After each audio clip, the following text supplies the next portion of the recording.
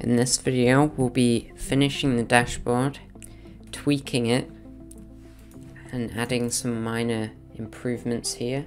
When we have an empty prefix form here, as you can see it's red, which means it's invalid, and we can't save. There's a lot you can do with this, and it works for all inputs. Let's get started. Hello there! So we left off with our little dashboard here, not much going on. Now, so we want to make sure this works. So I press save. Okay. Now, we have an issue here. What is the issue? Let's refresh real quick. Uh, and let me delete this. Okay, so that we can see it. So, I select nothing here and save. We get this includes error. What does this mean?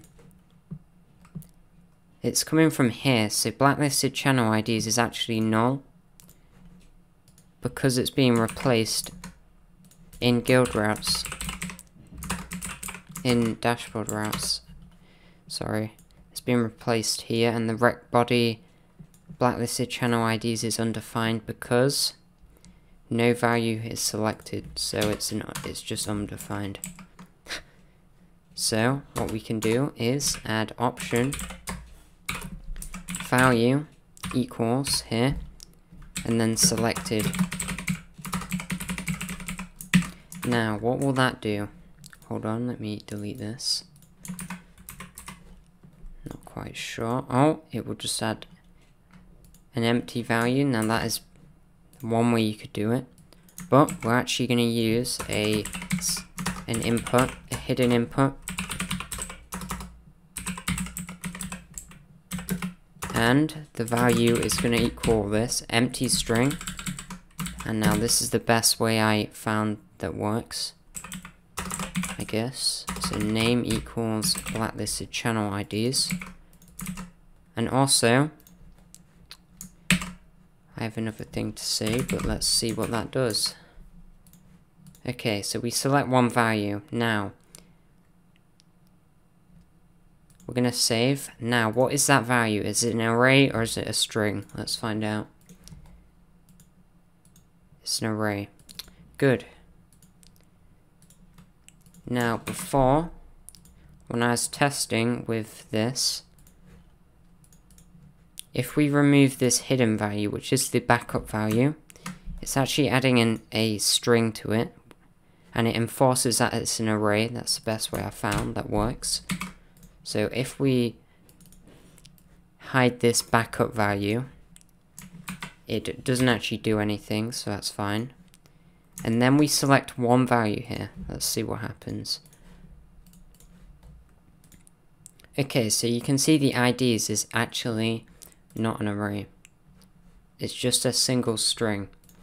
Now, you could add this, and another way to do it is add angled brackets here and that would fix that. So it's either an array or it's undefined.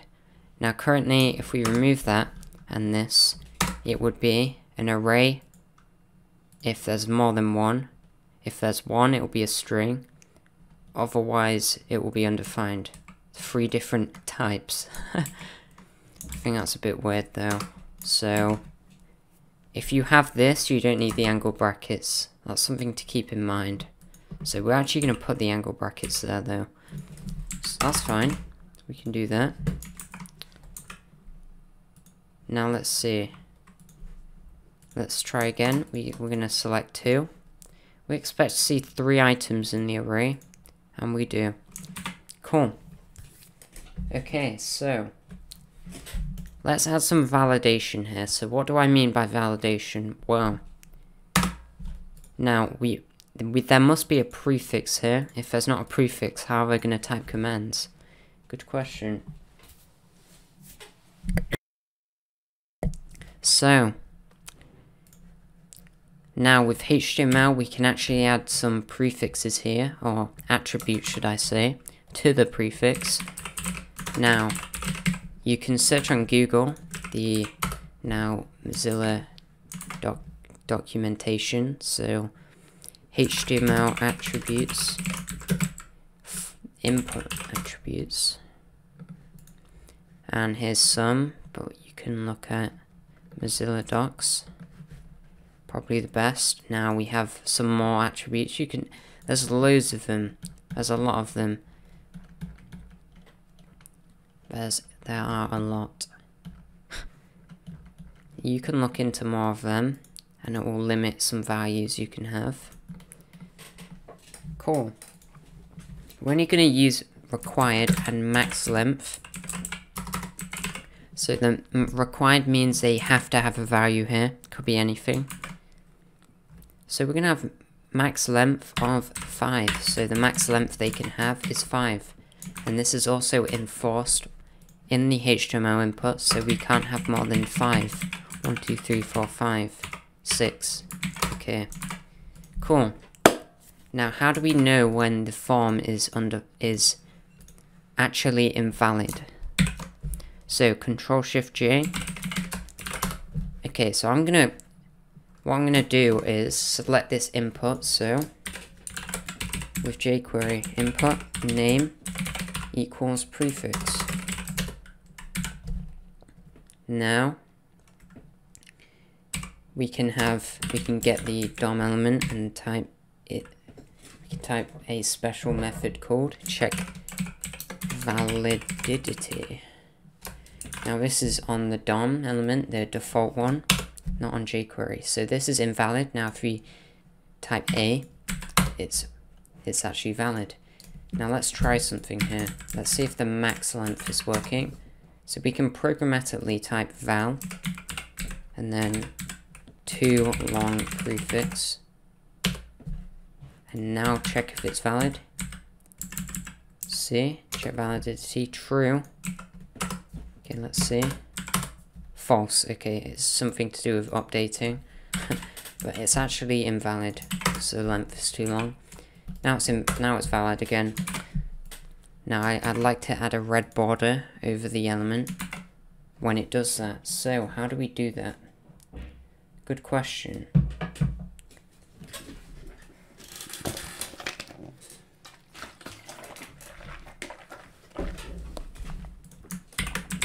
guild.js, let's add.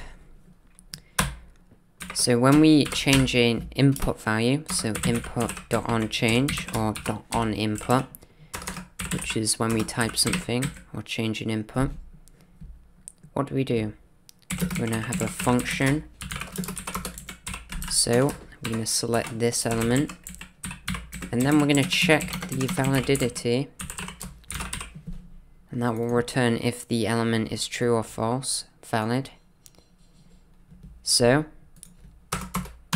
in this case, if it is not invalid, so if it's valid, we want to remove a class from it. So remove class. Otherwise, we want to add class. We'll add that in a minute. Add class. Now, what are we actually adding? We're going to add border, bootstrap class, border danger, which is red. So, that will add, remove both, add and remove both classes. Let's see that in action. Okay. So, as you can see, it's valid. We type something. Now we, oh, it's invalid. Very cool. That works. Now, you want to not allow them to to submit, so oh oh. So it does give a validation error in Chrome. Hmm, that's interesting. But we can also have form. So we can check if the entire form is valid. So if one of these is invalid, if one of the inputs is invalid, the entire form is invalid. If if one input is invalid, the entire form is invalid. So we can check the validity of the form. And then, what can we do? Ternary. We can type. we can actually select the button here if we want. But then we'd have to edit it in every file, but I guess we can just select it like this, why not? It's one way to do it. And then attr. Now, attr won't do too much, I don't think. So, we can have add attr, I believe, but we don't even need ternary, we can just do this. Now we're gonna have disabled and then we're going to have this. We're to paste this in. If the form is valid, do not make it disabled. There we go. Type something, it's enabled. Now it's invalid, it's disabled. Very cool. Now you might prefer it being different you might prefer it like that. And that's another option. Okay, so another tweak is if we go into overview, I forgot to add an S here, and also sidebar. Let's go in there. Now, what should we do with the sidebar? What is the problem, first of all? Well, this isn't completely centered, so let's add px1, padding left, right, 1. Boom. Is that centered? Let's see. Looks centered to me. You can add this drop down menu right class to the navbar and that will push this here away from being off the screen so it won't be too far off the screen MR2 so we can get rid of that and it will still be fine that's pretty much it now, let's give you some ideas of what we can do, or what you can do, what we may do. Depends. We can have some graphs here, so like this. In 2PG we can have some graphs. Like that, that show things. We can also have a lot more. We can have a lot more inputs, I guess. There's a lot of room for things to add. But that's up to you. So we've done the foundation, I guess. Another thing, let's add some icons here. Hold on, navbar. So let's add some icons to the drop down. So how do we do that? We're just going to have it inline. IFAS FA cogs, I think. And then user slash, I believe. See how that works. Yep. That's also text muted.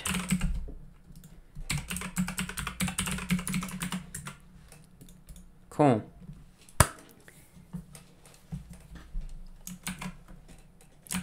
There we go.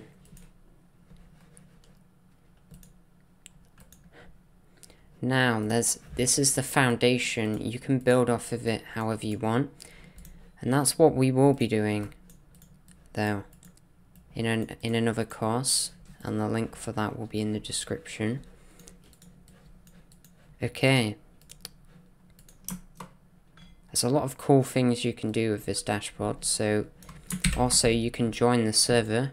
And the link for that is in the description, discord.io. So that's AdamJR and you can share your creations, I guess, with this there.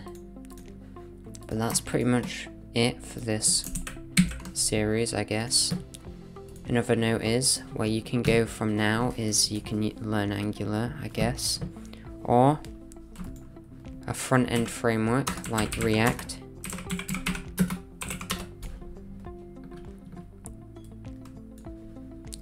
Now, Google made React um, Angular, and and Facebook made React. That's the difference.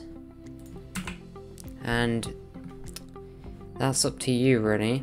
Let me show you some Angular syntax here. So, it does use a bit of rendering here, dynamic rendering, like PUG. But, instead of PUG having, what do they have, one bracket and that, it just has two double brackets, and it's not server-side rendering either. It's done on the client side, believe it or not, through here. There's a lot more to Angular than that. So the learning curves are different. So that's up to you. This was made with Angular, similar to how 1PG is actually. so you can learn a front-end framework if you want, but, and I have a, another tutorial for that, how to set up this dashboard for yourself. So if this gets 30 likes, if this video, then I'll make a course or something similar to that on Angular. So you can learn it through my channel, I guess. But I am also working on a Discord clone with Angular. That's something to keep in mind, that's what we could do. Never know. But that's it. Thank you so much for watching. Subscribe for more videos like this, I guess.